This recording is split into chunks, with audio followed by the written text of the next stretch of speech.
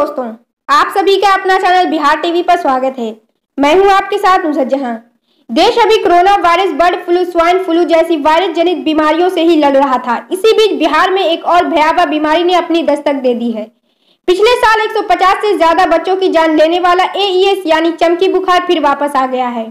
इस साल अब तक पाँच बच्चों की इस बीमारी से मौत हो चुकी है, जबकि तेरह मई तक रिपोर्ट किए गए मामलों की संख्या उनचास है। जो चिंताजनक है, क्योंकि एईएस जून और जुलाई में चरम पर माना जाता है।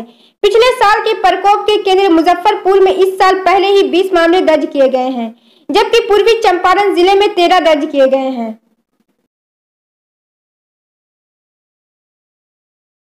कल हमारे द्वारा पूछे गए सवाल का बहुत सारे यूज़र्स ने कमेंट करके जवाब दिया था, उसके लिए आपका बहुत बहुत धन्यवाद।